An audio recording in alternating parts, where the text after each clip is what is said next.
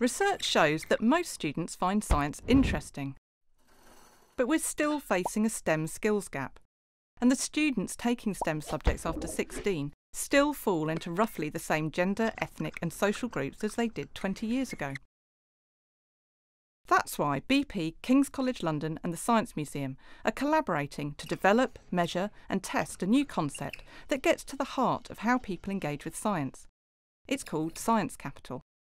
A person's science capital is like a holdall or bag that they carry around with them, into which they put all their science related knowledge, attitudes, skills, and experiences. The science capital each person has splits into four main types what you know, how you think, what you do, and who you know. Everyone has different amounts of science capital, and this affects whether they feel, yes, science is for me, or not. Our research shows that the more science capital a child has, the more likely they are to follow STEM subjects.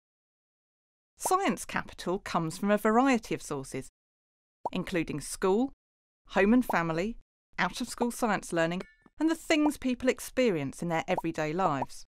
It helps us see all the influences that lead to students choosing STEM subjects or not, and understand why different groups aren't taking them further. We can also use Science Capital as a tool to develop more effective ways of supporting young people to engage with science.